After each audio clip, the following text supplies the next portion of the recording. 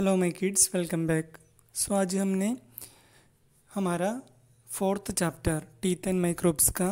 short answers discuss करेगा already we completed our first second and third chapter would short answers and long answers so अभी short answer type question है chapter number four page number one thirty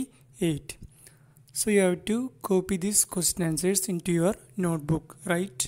neat and clean okay